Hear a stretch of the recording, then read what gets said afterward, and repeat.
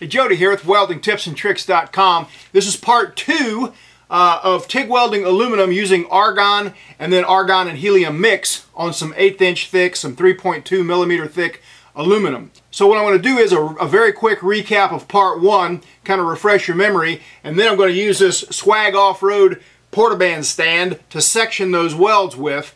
Now, I made some extra coin a few weeks ago, and I actually shot the video of me make, making these parts. There were, there were about 50 parts, and they're steel parts, and so I got paid for that and used some of the money to buy this, which I have always wanted. Now, I built one of these myself for a Porter Cable Portaband several years ago, handiest thing in the shop, but that one was kind of on loan while I was in the shop with my machinist friend, so he needs that one back. And uh, so got my own setup here.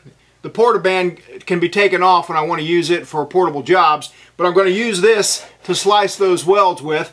What I'm going to do is I'm going to show you the puddle again, and then right about where I make the cut, I'm going to freeze the frame so you can see the puddle, and then you can see the cross-section, polish, etch, result, depth of penetration, all that stuff all at once. And you can correlate the two. Like that puddle looks kind of cold, that's what it looks like. That puddle looks nice and hot, that's what it looks like. All right, let's get going. I can't help but show you this little gravy TIG job here where I made the extra cash to buy that Swag Off-Road Portaband stand. Fun little job, paid really well, so I had some cash and I wanted to buy myself something, a tool.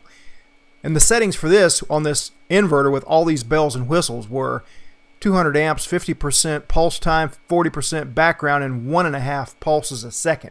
That worked out really well. But for this video, using this very basic Lincoln TIG 175 with hardly any settings on it and actually there's a lot to be said for a simple unit like this, especially if you mix helium in. So right here, I'm just using straight argon. You can see, limited at 100 amps, how slow of a go it is. This is real time, just barely hot enough to weld this eighth inch thick, 3.2 millimeter thick material. But add helium to the mix by using a little Y there and just barely floating each ball to about 5 CFH.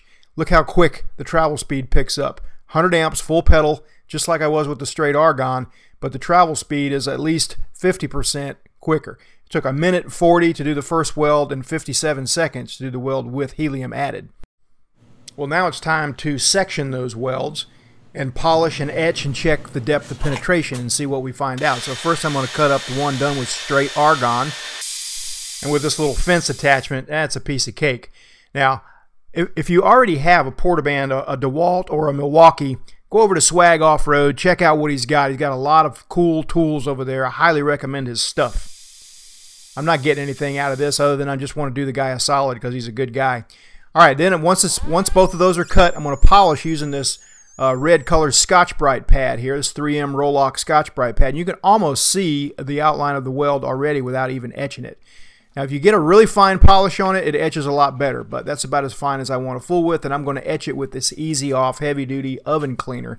There's lots of household products that will etch aluminum. It just takes a little while. Takes a little longer on some than others. I've used certain types of Drano even that work pretty good. But you can see I got a little subsurface porosity and not that much penetration. Barely got in there barely got in there. And it looks like it looks like that. When you look at it right here it's barely getting down into the root of the joint. And even you can see a little a little fine pore right there. So it's not surprising I got a little subsurface porosity in that weld. This is the stuff you learn when you cut stuff and etch it right after you weld it while it's still fresh on your mind. And of course while you have a chance to review the arc footage, then you can really see stuff like I'm doing on for this part two video. I saw some things I didn't even see when I was welding it. Now here's the helium, the joint done with argon helium mix. Much deeper penetration, no porosity. Got in there, same 100 amps, 100 amp setting, just increased the travel speed and increased the penetration quite a bit. So here's the arc shot there of roughly where I made the section, right about there. And here you see the nugget profile it's actually kind of surprising. It's more than it looked like it would be because that helium is like magic. Now, coming soon, I'm doing a DCEN, DC TIG welding using 100% helium. That's a whole different animal. You can see going here on some thick aluminum. This is close to three quarter inch thick plate and it's dark and sooty but it's really penetrating in there nice. It looks different, doesn't look as pretty, but it's got its use and I'll explain that in the next video. Look at the depth of penetration that that weld got. And then on the other hand, look at the little pore that it got. So everything's got a little trade-off to it. I am working hard on getting that DC aluminum video done, and it should be out in a week or two. All right, we'll see you next video.